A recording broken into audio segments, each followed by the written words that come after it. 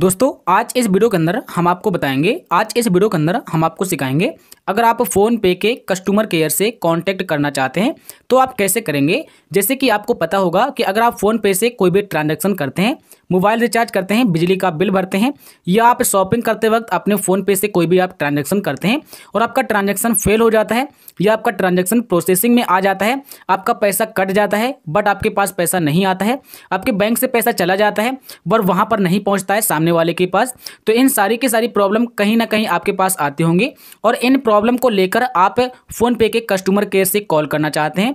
आप बात करना चाहते हैं और उनसे अपनी प्रॉब्लम को मेंशन करना चाहते हैं तो आप आसानी से कर पाएँगे। इस वीडियो के अंदर हम आपको दो आसान तरीके बताएँगे बट आपको यहाँ पर यह भी हम आपको बताना चाहेंगे कि फ़ोन पे के कस्टमर केयर से यहाँ पर कॉन्टेक्ट करने के लिए बहुत सारे आपको फ्रॉड नंबर मिल जाएँगे। तो हमेशा आपको फ्रॉड नंबर से हमेशा बचकर रहना है, क्योंकि बहुत सारे ऐसे फ्रॉड हो जाते हैं जहाँ से आपका बहुत सारा पैसा भी जा सकता है।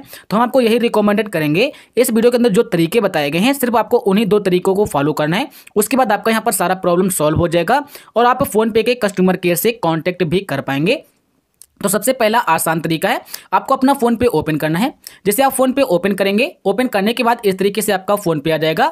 अपने हिस्ट्री पर क्लिक करेंगे तो यहाँ पर आपका सारा हिस्ट्री रहता है, जैसा कि आप देख पा रहे होंगे। तो मैंने यहाँ पर ऐसे, यहाँ पर यानी कि ये जो प्रॉब्लम है, इसे लेकर मैंने यहाँ पर बात किया था फ़ोन पे के कस्टमर केयर से, क्योंकि ये ऐसे यानी कि जो हमारे पास ये पेमेंट आया हुआ है, यहाँ पर देखने को मिल रहा है, ये पेमेंट है।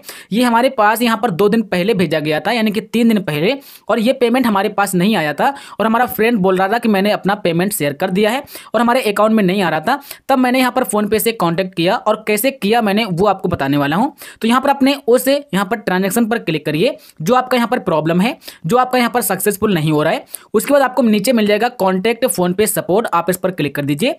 इस पर क्लिक करने के बाद थोड़ा सा इंतज़ार करिए। आपके सामने यहाँ पर एक हेल्प सेंटर का पेज आ जाएगा। यहाँ पर आपको एक चैटिंग करने का ऑप्शन मिल जाएगा। इस तरीके से आपके सामने पेज आ जाएगा। यहाँ पर आपका सारा का सारा डिटेल्स आ जाएगा। यहाँ पर मिल जाएगा, मेरे खाते में जमा नहीं हुई राशि। यानी कि यहाँ पर अपना लैंग्वेज भी चूज़ कर सकते हैं। इस पर क्लिक करेंगे। इस पर क्लिक करने के बाद अपना लैंग्वेज चूज़ कर लीजिए कि आप किस लैंग्वेज में बात करना चाहते हैं। उसके बाद अपना लैंग्वेज चूज़ करिए और आपको यहाँ पर बहुत सारे ऑप्शन मिल जाएँगे, जिनके ज़रिए आप बात कर सकते हैं। जैसा कि आप देख सकते हैं कि हमारे पास बहुत सारे ऑप्शन आ रहे हैं। मेरा बैंक मदद नहीं कर रहा है। मेरे खाते में जमा नहीं हुई है राशि तो आपका जो भी प्रॉब्लम हो, आप यहाँ पर शेयर करिए। नहीं तो आपको यहाँ पर एक मिल जाएगा व्यू टिकट आप इस पर क्लिक करिए। तो जो आपका यहाँ पर टिकट नंबर आपको मिलेगा, वो आपको यहाँ पर देखने को मिल जाएगा और उसे आपको देख लेना है। और उसके बाद यहाँ पर मिलेगा रिसॉल्व यानी कि हमारा ये प्रॉब्लम सारा का सारा सॉल्व हो चुका है। उसके बाद बताते हैं दूसरा नंबर जहाँ से आपको कॉन्टेक्ट नंबर का मोबाइल नंबर मिल जाएगा, यानी कि फ़ोन पे के कस्टमर का मोबाइल नंबर मिलेगा। वो कहाँ पर मिलेगा तो आपको जाना होगा अपने मोबाइल फ़ोन के ब्राउज़र में, या आपको जाना होगा अपने मोबाइल फ़ोन के यहाँ पर गूगल पर। गूगल पर जाने के बाद यहाँ पर आपको सर्च करना होगा। यहाँ पर आपको सर्च करना होगा फ़ोन, यहाँ पर सर्च करना होगा फ़ोन पे डॉट कॉम, और यहाँ पर आपको स्लेस लगाना होगा और कॉन्टैक्ट आपको लिखना होगा।